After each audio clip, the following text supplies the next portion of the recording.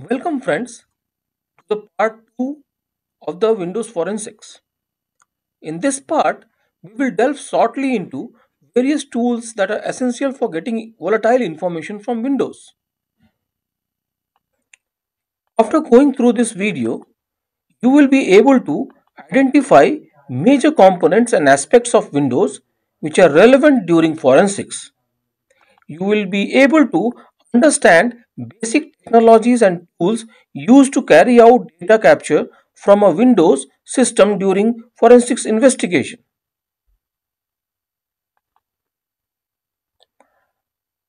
Talking about volatile information, volatile information can disappear or can be easily modified. It retains its contents while powered on, but when the power is interrupted, the stored data is immediately lost. Following are the few methods or tools uh, to acquire some volatile informations in Windows systems.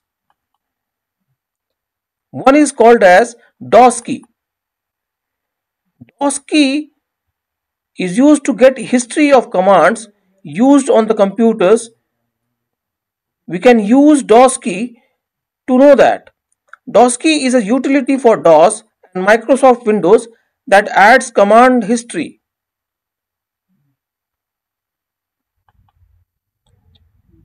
Another one is called as uptime2.exe. To get the current uptime and system events and statistics of the local or remote system, we can use a utility called uptime2.exe. Lately, utility is discontinued, but many other tools of similar capabilities are available.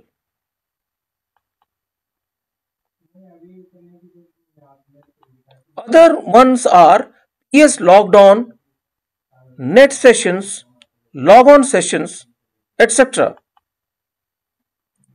During an investigation, we will always need to know who all were logged on to the system. Logging to a system can be remotely or locally. Information like these can add logical view to a context a situation. The logs can be related to an event occurrence. Many tools are available like PsLoggedOn, net sessions, logon sessions, etc. To learn the instantaneous information of the users, these tools can be downloaded from the Windows Sys internal site.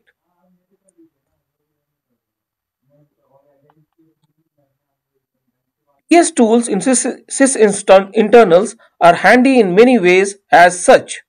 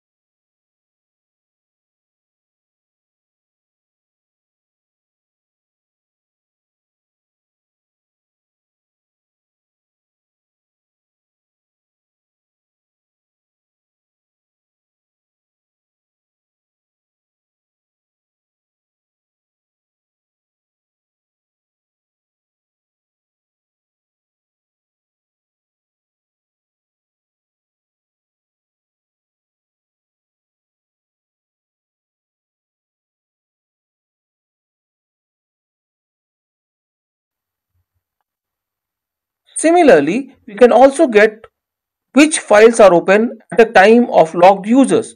This is also important many times as to correlate whether which users were probably using which files of the system.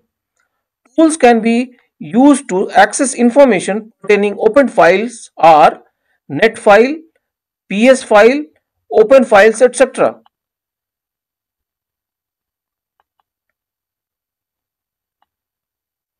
Here we are showing a command line that gives a taste of how these tools can give out information of files that we open in system.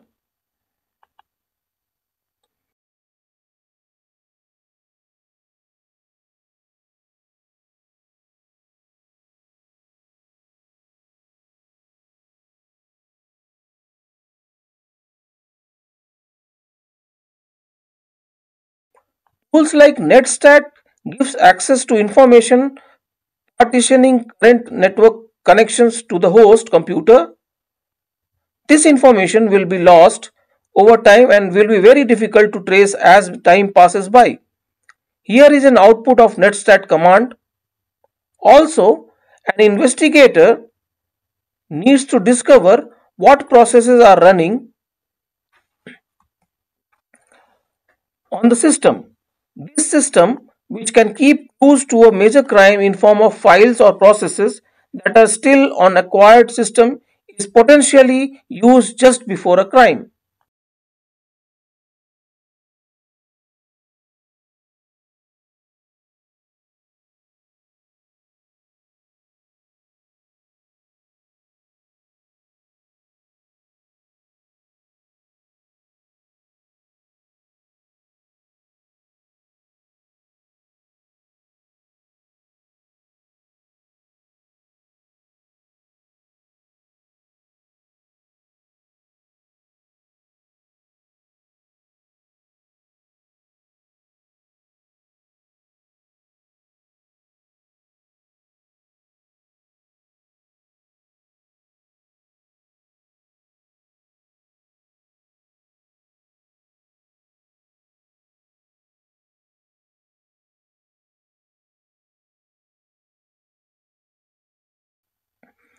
Information about processes like executable file path, commands to launch the process, timestamps, current modules, etc., along with context needs be collected. Tools like TList, TaskList, PSList, list DLLs, etc. helps us to get all this information. Windows Task Manager does give some information, but most of the time it does not show vital information. Hence, using above tools plays significant role in forensics.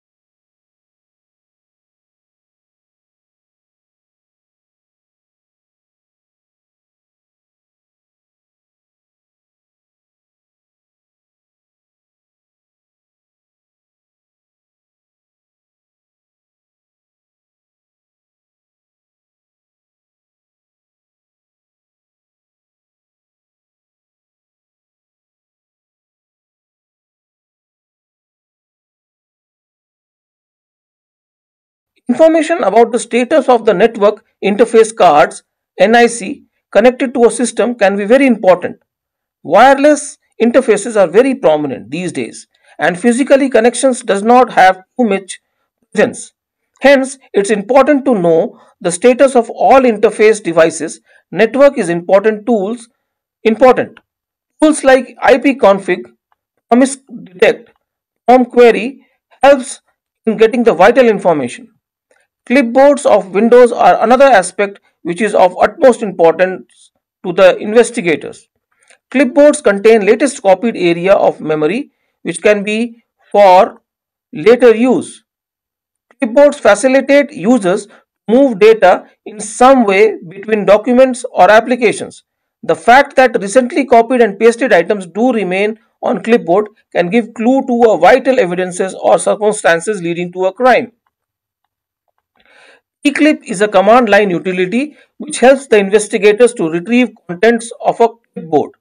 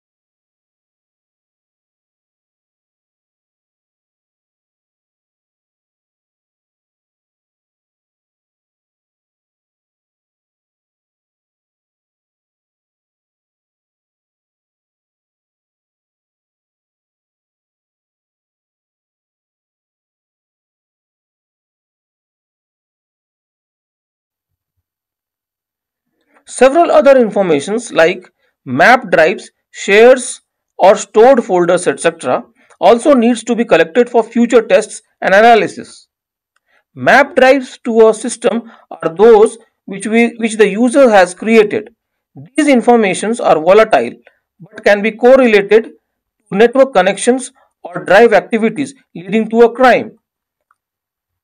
A system resource can be shared in many different ways like shared folders, shared network access, etc.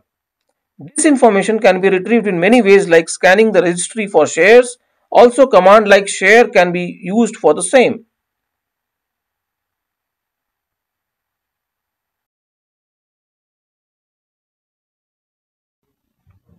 Thank you friends for watching.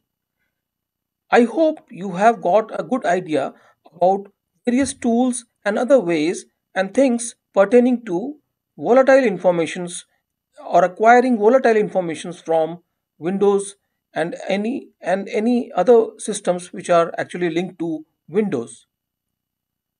The next part or the next video is non-volatile informations in Windows.